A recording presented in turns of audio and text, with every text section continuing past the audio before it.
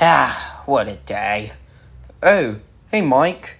What do you want, Bert? Can't you see I'm trying to relax? Well, I actually want to tell you something. And that is Bert. You actually think you're the Mike the miniature engine? All this time I think it was an axe.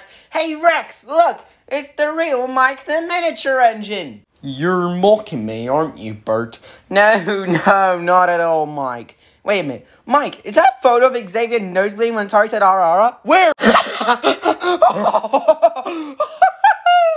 Bert, you son of a...